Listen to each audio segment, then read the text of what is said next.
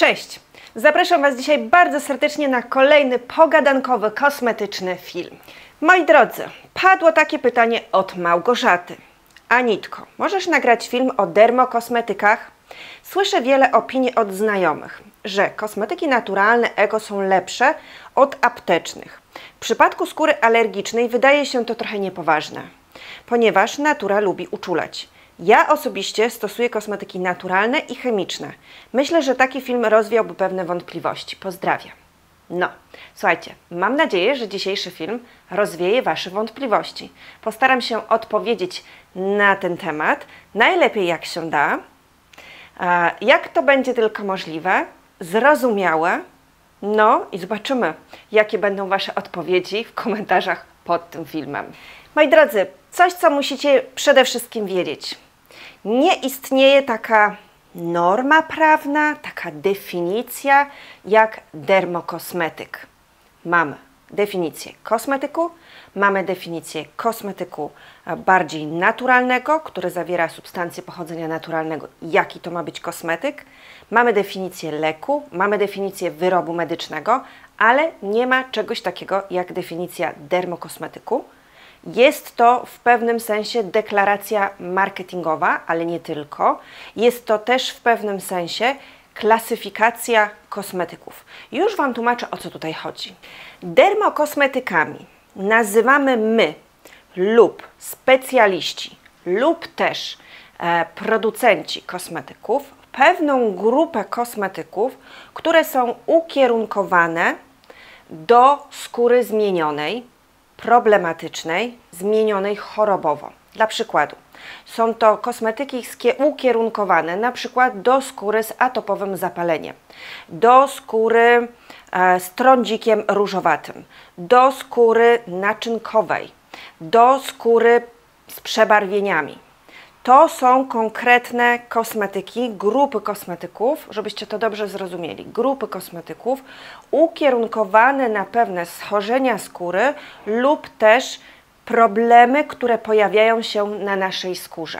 Robimy to my, czyli na przykład specjaliści, lekarze, dermatolodzy, kosmetolodzy. Bardzo często mówimy właśnie dermokosmetyk lub też sami producenci kosmetyków. I oczywiście stąd też tak się przyjęło, że i Wy zaczynacie też mówić dermokosmetyki, bo najczęściej tego typu produkty, właśnie takie bardziej specjalistyczne, ukierunkowane, dostaniecie w aptekach. I to też sprawia, że Wy odnosicie wrażenie, trochę Was to tak kieruje, że są to właśnie dermokosmetyki, bo skoro są sprzedawane w aptece, wśród wyrobów medycznych, wśród leków, to są one bardziej dermo, bardziej specjalistyczne. Ale czy są to kosmetyki lepsze od tradycyjnych kosmetyków? No i właśnie tutaj zaczynają się schody. Bo co to znaczy lepszy kosmetyk? Już kiedyś nawet z Wami na ten temat rozmawiałam. Dobry kosmetyk, zły kosmetyk, dobry skład, zły skład itd. Tak itd. Tak Słuchajcie, dla każdego dobry kosmetyk będzie inny. Taka jest prawda, bo wszystko zależy od naszej skóry. Jeśli ja mam problemy skórne na zasadzie atopowego zapalenia skóry, to ja nie będę sięgać po kosmetyki, na przykład spółki naturalnej, pełne alergenów i tak dalej, nakładać je na moją skórę, bo taki kosmetyk nie przyniesie mi żadnych efektów. Więc ja wolę iść w stronę na przykład dermokosmetyku, który jest pozbawiony e, alergenów, ale też będzie nawilżał, będzie dawał inne czynniki i mogę powiedzieć, że taki kosmetyk jest lepszy. I tak właśnie w przypadku tego komentarza może się okazać, że ktoś idzie w stronę kosmetyków naturalnych i ekologicznych, i bio, i tak dalej, i powie, że taki kosmetyk jest lepszy od dermokosmetyku, bo ma czysty skład, bo ma coś tam, coś tam, i będzie uważał, że on jest lepszy. Prawda jest taka, moi drodzy, i musicie to zrozumieć, że skóra każdego z nas może zareagować różnie na kosmetyki. Nie ma znaczenia, czy będzie to dermokosmetyk, czy będzie to kosmetyk naturalny, kosmetyk tradycyjny, chemiczny itd., tak itd. Skóra każdego z nas będzie indywidualnie reagowała na kosmetyki i to będzie podstawą oceny takiego produktu. Czyli jeżeli na przykład macie skórę wrażliwą, to ja nie wyobrażam sobie, żebyście stosowali kosmetyki, które będą Was podrażniać. A jeżeli wiecie, że na przykład e, e, kosmetyki spółki naturalnej zawierają więcej alergenów, to idźcie w stronę kosmetyków, które tych alergenów nie mają. I na przykład dermokosmetyki najczęściej są to takie produkty, które są pozbawione większości potencjalnych alergenów. Dlaczego? Dlatego, że właśnie są to produkty ukierunkowane na różne schorzenia. Jeśli ktoś ma skórę wrażliwą, to powinien iść w kierunku kosmetyków, tak jak już powiedziałam, które nie zawierają dużej ilości tych potencjalnych alergenów. Jeśli ktoś ma trądzik różowaty, tak samo. Jeśli ktoś ma problem um, z, ze stanami zapalnymi na skórze, tak samo. I właśnie dermokosmetyki, czyli te kosmetyki, które są ukierunkowane na leczenie, na problem, na nie leczenie, na działanie na pewne schorzenia skóry, mają mniejszą ilość tych potencjalnych alergenów. Bardzo często są też pozbawione zapachów, no bo wiecie, że zapachy e, mogą powodować właśnie różnego rodzaju podrażnienia i alergie ale nie zawsze. Mówię bardzo często, ale nie zawsze, bo są produkty spółki Dermo, które mają zapachy. Mają też inne składniki, których na przykład trzeba się wystrzegać przy konkretnych schorzeniach. No tutaj można by było gadać godzinami, ale musicie też pamiętać o jednej ważnej rzeczy. Dermokosmetyki to nie są wyroby medyczne. Dermokosmetyki to nie są produkty, które leczą. Dermokosmetyki są to kosmetyki które najczęściej znajdziecie w aptekach, które są ukierunkowane na różne schorzenia skórne, ale cały czas są to kosmetyki. Dermokosmetyki to jest tylko taka nazwa marketingowa.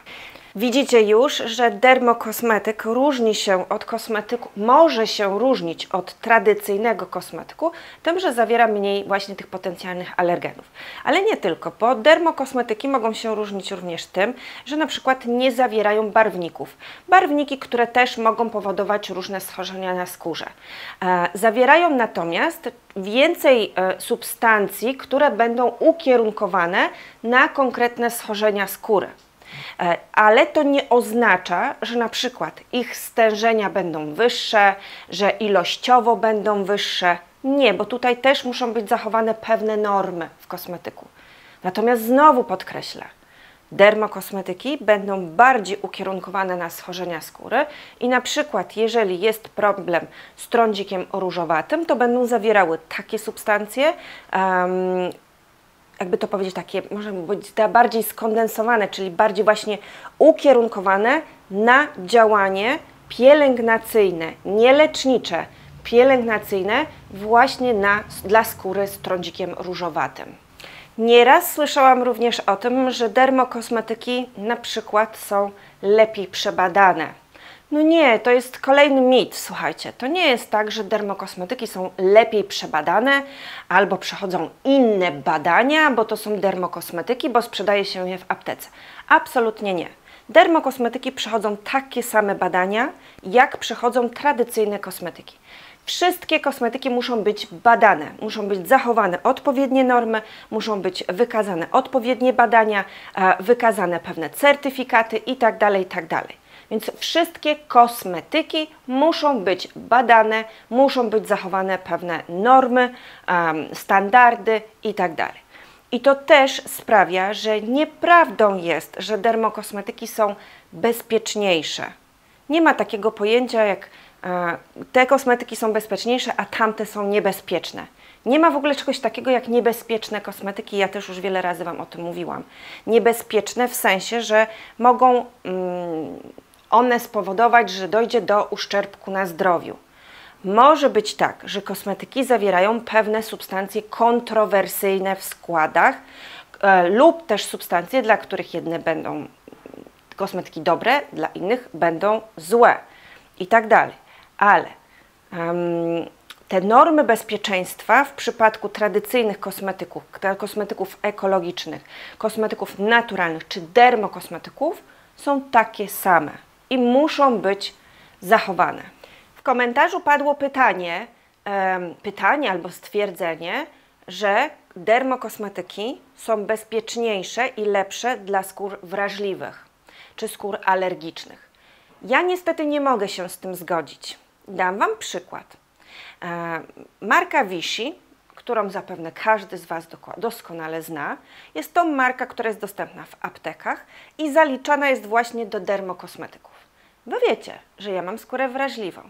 Skórę, która bardzo często reaguje e, alergicznie podrażnieniami na różne kosmetyki. I wyobraźcie sobie, że ja marki Vichy nie mogę testować. Nie mogę używać, wielokrotnie o tym mówiłam, ponieważ jest w tych kosmetykach coś, co na mojej skórze wywołuje właśnie taki efekt.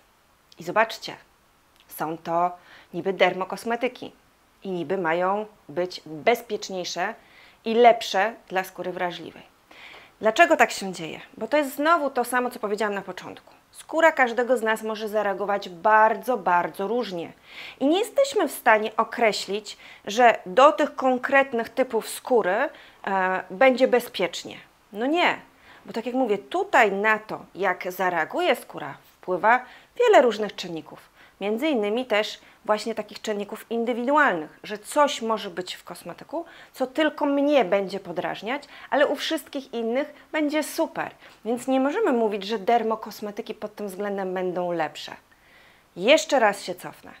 Może być tak, że w dermokosmetykach jest mniej alergenów, barwników, zapachów i różnych innych potencjalnych substancji wywołujących podrażnienie czy alergię ale to nie oznacza, że one są w 100% um, takie, że nigdy tego na skórze takiego efektu nie wywołają, bo skóra może każdego z nas zareagować bardzo indywidualnie. No to teraz pewnie mnie zapytacie, Anita, to w takim razie warto kupować dermokosmetyki czy nie? To wszystko zależy, słuchajcie, od Waszych preferencji, bo um, są wśród Was takie osoby, które jednak będą szły w tę pielęgnację naturalną i będą twierdziły, że nie opłaca się kupować dermokosmetyków i to jest dla nich, to jest zrozumiałe, słuchajcie, tak może być. Są osoby, które będą szły w kosmetyki prof, spółki profesjonalne i te, które będą stawiały na e, kosmetyki selektywne i też takie, które powiedzą, że jednak dermokosmetyki. Przede wszystkim musicie to, kierować się e, tym, czego potrzebuje Wasza skóra. Jaka ona jest? Jaki macie typ skóry? jak ona reaguje na konkretne kosmetyki. To musi być dla Was tym takim, mm, jak powiem, kopniakiem do tego, żeby kupić konkretny kosmetyk. Czy będzie to dermokosmetyk, czy będzie to inny kosmetyk? Przede wszystkim potrzeby Waszej skóry, stan Waszej skóry, to w jakim ona jest stanie w danym momencie, czego potrzebuje, co trzeba jej dostarczyć, czy rzeczywiście są jakieś problemy chorobowe, jakieś problemy um, jakieś stany na skórze, z którymi nie będą w stanie mogły sobie poradzić zwykłe kosmetyki i trzeba pójść bardziej w taką pielęgnację specjalistyczną. Albo na przykład jesteście osobami, które za chwilę po lecie będą korzystać e, z różnych zabiegów bardziej inwazyjnych, zabiegów takich jak na przykład terapie laserowe. I będziecie potrzebować kosmetyków, mm, które będą łagodziły na przykład te stany, które się pojawią na Waszej skórze po takich zabiegach, podrażnienie, zaczerwienienie, pieczenie, świąt. Więc tutaj warto pójść w kosmetyki, które są ukierunkowane na takie stany naszej skóry. I na pewno wśród dermokosmetyków takie produkty znajdziecie, bo są takie marki, które takie produkty właśnie pozabiegowe oferują.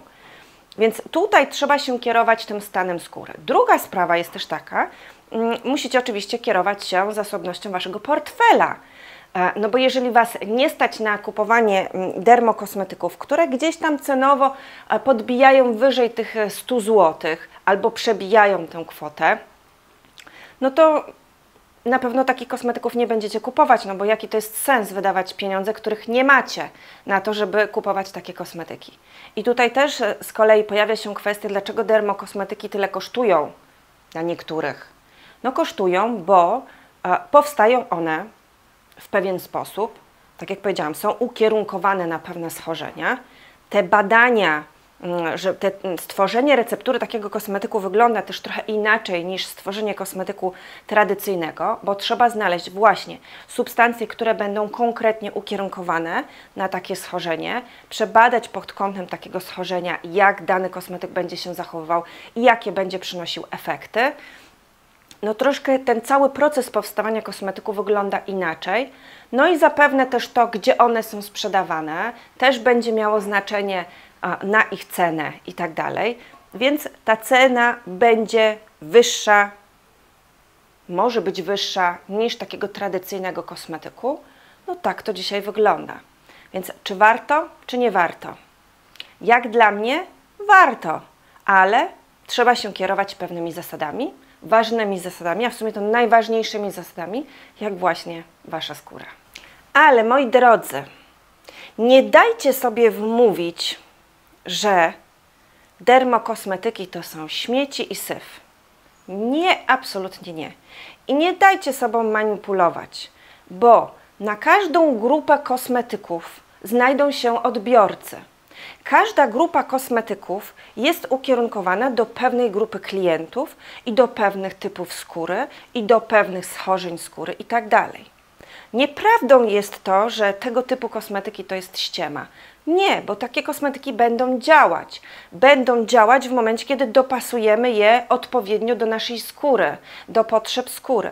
Jeśli e, wiemy, że mamy pro, problem z trądzikiem e, dorosłych, to nie będziemy kupować kosmetyków, które zawierają e, w składzie mm, zbyt dużą ilość emolientów i humektantów, bardzo silnie nawilżać, natłuszczać wręcz, a będziemy szukać takich, które będą ukierunkowane na ten problem i wśród dermokosmetyków takie się znajdą. To samo samo w przypadku na przykład skóry z LZS, z AZS. No, mogłabym tutaj wymieniać, słuchajcie, godzinami, z łuszczycą i tak dalej. Mm, więc są ludzie, są osoby, są typy skóry i są schorzenia, które będą potrzebowały działania dermokosmetyków. I te dermokosmetyki dobrze dobrane będą na nie działać. I to nie jest żadna ściema. To jest udowodnione w badaniach, które przeprowadza się, gdy tworzy się takie kosmetyki. Natomiast wybór zawsze należy do Was i podejmujcie go świadomie i decydujcie się na kosmetyki pielęgnacyjne świadomie, pamiętając o tym, że dermokosmetyk jest to wytwór marketingowy stworzony na potrzeby konkretnych problemów skórnych, ale nie oznacza to, że nigdy Was nie podrażni, że mm, nie wiem, będzie bezpieczniejszy od innych kosmetyków, bo czegoś takiego nie ma, um, że to czy tamto. No nie. Tu musicie podchodzić świadomie i z głową do tematu. Bardzo Wam dziękuję za dziś. Dajcie znać, co myślicie na ten temat i czy zgadzacie się z moją opinią, a może macie jakąś inną opinię na ten temat. No, czekam na Wasze komentarze i widzimy się oczywiście w kolejnym filmie. Do zobaczenia, buziaki. Pa!